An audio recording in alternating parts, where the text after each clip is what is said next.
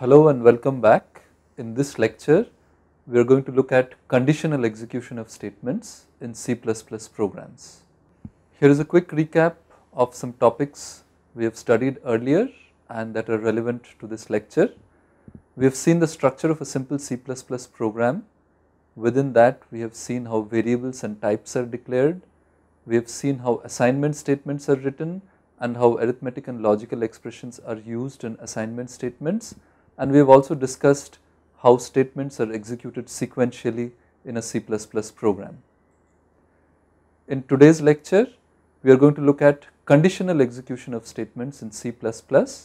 Specifically, we are going to look at the if else construct or statement and its different variants.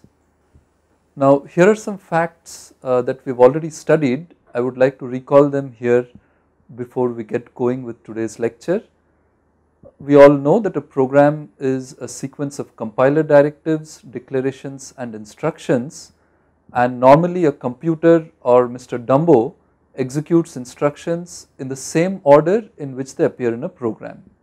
So if you have written the instructions from top to bottom separated by semicolon, the computer will execute the instructions as it encounters them top to bottom in the program. Or if you have written the instructions left to right separated by semicolon, the computer will execute them as it encounters them left to right separated by semicolon.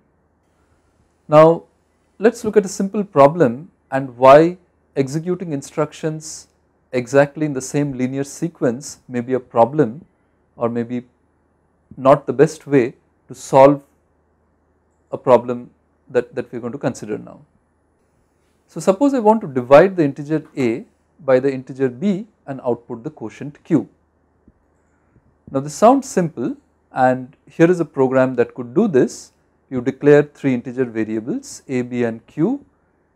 You get the inputs a and b after printing a message saying give a and b. Then you compute the quotient and then you output the quotient and then you return 0. So there does not seem to be anything complicated about this program except that what would happen if b was 0 when we do this division then we would effectively be doing a division by 0 and that is not a very well defined operation to do. So do we really want to divide if b is 0 and if we want to not divide if b is 0 then we need to reformulate or re-articulate our problem in the following manner by saying that divide a by b and output the quotient q if b is non-zero. Otherwise that is if b is 0 we can simply output the string bad inputs because then the division would lead to dividing a by 0 which is not a very well defined operation. So as you can see that we need conditional execution of instructions or blocks of instructions in order to solve a simple problem like this. The different blocks of instructions that I might need to use to solve this problem are reading inputs a and b dividing A by B and outputting the quotient Q, outputting the string bad inputs and returning control to the caller or the operating system. Note that although I have written the instructions in this manner one after the other, I do not intend to say that they will be executed in this manner. All I am trying to depict here is that these are the different blocks of instructions that I might need in order to solve this problem as specified here. Now reading of the inputs A and B must be unconditionally executed and this must be the first thing that we must be doing. However, dividing A by B and outputting the quotient Q should be a conditional execution. We should execute this next after reading A and B only if B is non-zero. However, if B is 0 then we should be executing this and not the previous instruction and finally returning control to the caller or the operating system has to be unconditionally executed at the end.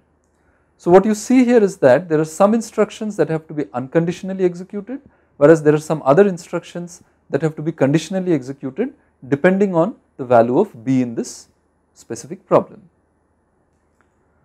So now if b is non-zero then the sequence of execution that we should have is the following read inputs a and b this of course is unconditionally executed first.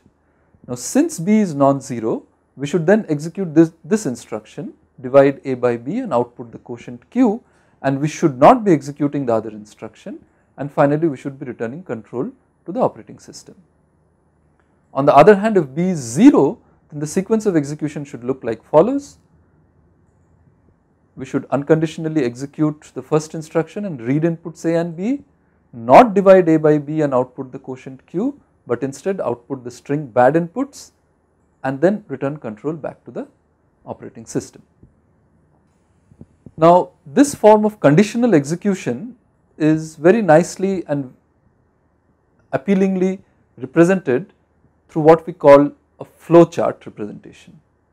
So flowchart is basic is basically a visual representation of how control flows in a program.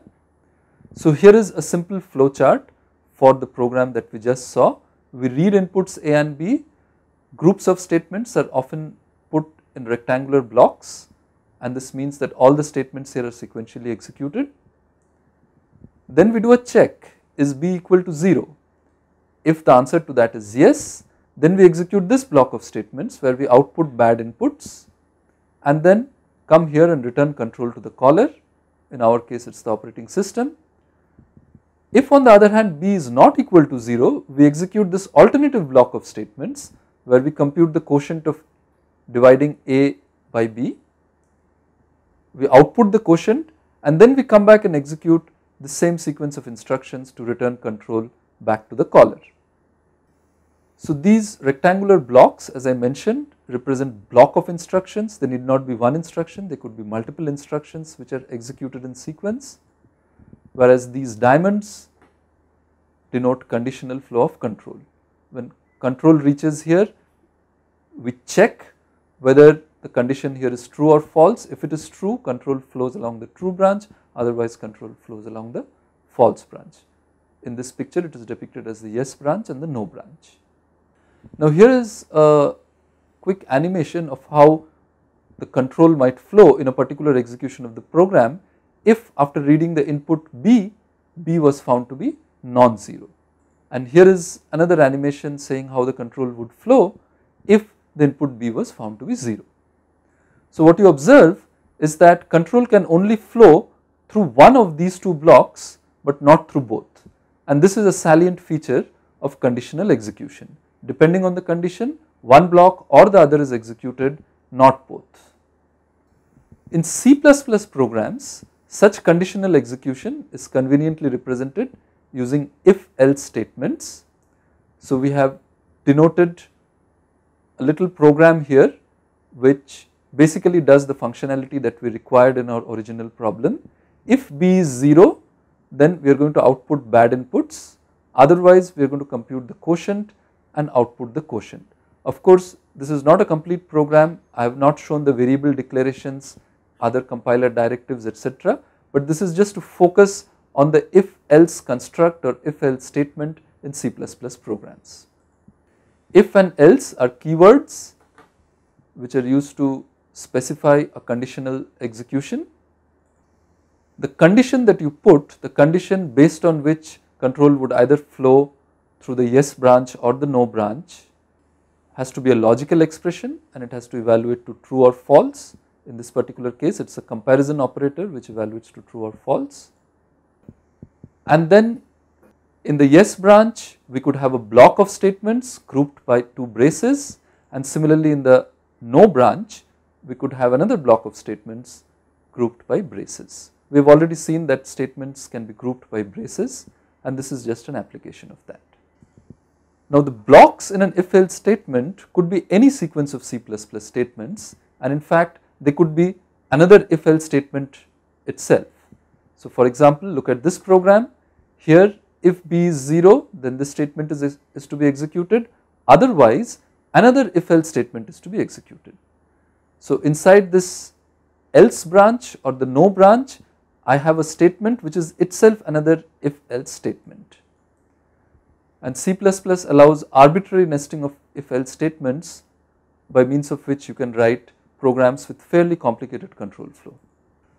C++ also allows you to write if without the else, the else is indeed optional but basically when you write an if statement without else this is equivalent to saying it is the if statement and there is an else branch in which you do nothing. So this is really a succinct way to write programs when nothing needs to be done in the else branch. Parentheses have to be very carefully used when you are writing if else statements. For example, consider this program. Here perhaps the intent of the programmer was to say that if b is 0 then we should see the message hello world with 3 exclamation marks. However, if the program is written like this, this block would be would be construed as an if statement without an else statement and this would be unconditionally executed.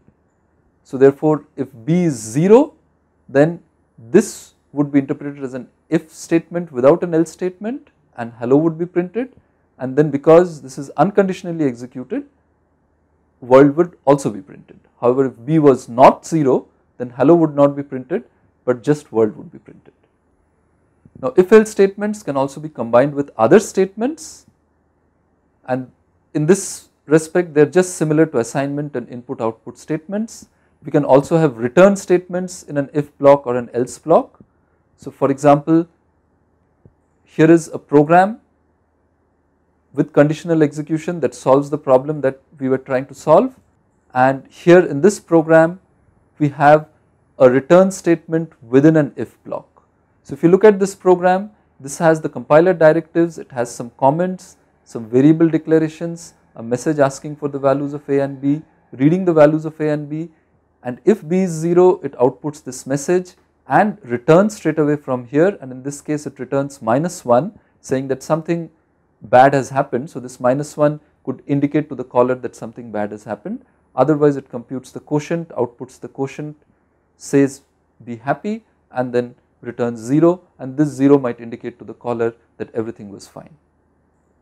So in summary we looked at conditional execution of statements in C++ programs. Specifically we looked at the if else statement and its usage.